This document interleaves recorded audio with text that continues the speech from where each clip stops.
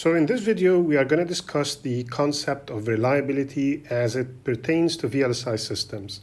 And reliability is a huge field of study that uh, extends to all branches of engineering as well as to uh, other branches of science.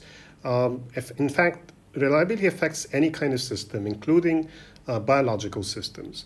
So uh, the introduction we're giving here is really shallow and it's really brief and it only pertains to VLSI systems. And even then, it's still a very simple introduction. So reliability just considers the question of once a system has been introduced, in this case, a microchip, once a microchip has been released and is in the market, will this microchip continue to work properly or will it fail over time? If the, if the microchip fails over time, we call this a reliability issue. So reliability is kind of tightly related to testing, and we'll see how, but it is also distinct from testing because it is something that becomes apparent over a long period of time when the system is used under certain circumstances.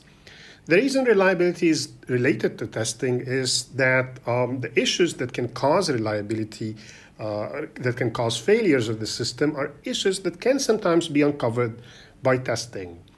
Uh, yes, it's true that uh, a lot of failures happen when the system is stressed, but you can also do something called stress testing, where you expose the, the chip to working conditions that are more strenuous than normal working conditions in, in order to accelerate the kinds of issues that will cause systems to fail in the market.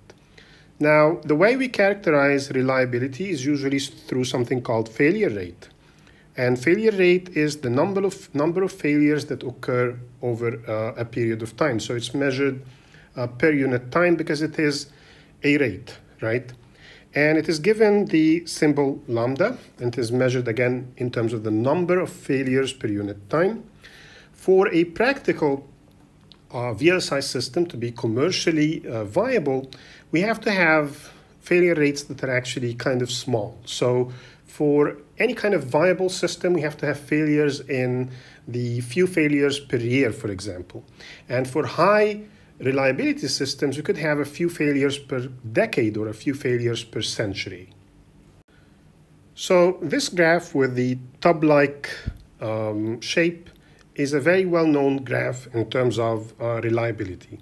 And it shows the phases of a system or a chip or a component when it's int introduced to market. So in this case, think of it as the shape of the failure rate of a chip that we release to market. We designed the microchip and we have released it, and this is how the failure rate of this system changes over time. And so that's interesting because it seems to suggest that the failure rate is not a constant. It's actually something that varies over time.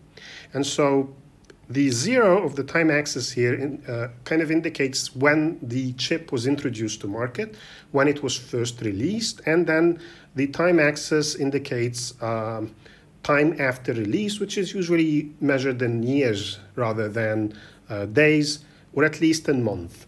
So what we have here is we have three phases of, uh, at least three phases of, uh, uh of, of the lifetime of the product. The first phase is called the infant mortality phase. The second phase is called the useful life phase, and the last phase is called the uh, wear out phase. The wear out phase is sometimes divided into an early wear out phase and a late wear out phase. So what we can see here is that once the uh, component or system is first introduced, it has a high failure rate. As that component uh, keeps getting used in the market, the failure rate starts to decrease. This is called the infant mortality stage. And in the infant mortality stage, we have introduced a very large number of components into the market. Millions of chips have been released, and a very large number of chips start to, relatively large number of chips start to fail initially, but then the rate at which they fail starts to decrease with time. And the reason for this is that early on, bad chips, chips that had faults that we missed, or that had faults that would only be uncovered with use, will start to die in large numbers. As these chips are weeded out, as they, are, as they get weeded out of the population, the uh, rate at which uh, chips start to fail uh, continues to decrease. Eventually, we will reach a certain failure rate, and uh, the failure rate starts to kind of saturate at this certain rate. This indicates the useful life period of the product. In the useful life period of the product, we have a constant failure rate. So the manufacturer kind of has um, an idea of how uh, often their systems fail, and they can develop a commercial model that allows them to replace these components, and everything is, is settled and um, stable.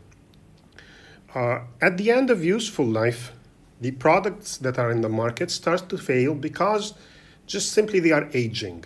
So the chips will eventually fail. They will eventually fail, maybe in a decade, maybe in a couple of decades, but they will eventually start to fail, even if they are good, because of the accumulation of issues due to reliability. This indicates the start of the wear out phase.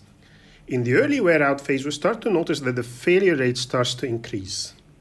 And this indicates that perhaps this product is now starting to die out. In the late wear out stage, the failure rate of the products just kind of skyrockets and almost all of the product dies out of the market. This is expected and normal. This kind of behavior is expected and normal, and there's nothing wrong with it. What matters is that you manage these failure rates. And the goals of a, of a, of a good product are, first of all, to bring the start of useful life earlier and to push the start of wear out later. So basically increase the period of time in which the product is in useful life. And also to bring down this value of failure rate for useful life. So basically we just want to increase the amount of time in which the product is in useful life and to push down the failure rate during, uh, during useful life. There's really no need to try to manage failure rates during wear out because products are going to fail anyway during wear out. And so, you know, it's a futile effort to try to minimize failures in this phase. It's also not very useful to try to manage failures in, in, in infant mortality because even if the product is really good, even if the chip is very well designed, there are issues that will always be there and will always be uncovered only when the product is introduced. We also, when we looked at testing, we also discovered that um, even with a very high yield and high coverage uh, process, there will still be a defect level in chips that get shipped to market. And we depend on the infant mortality stage to just weed out these products. Uh, what really matters is that it weeds them out quickly. So what you, you want to happen is for the onset of useful life to become earlier rather than the management of failures during the infant mortality stage.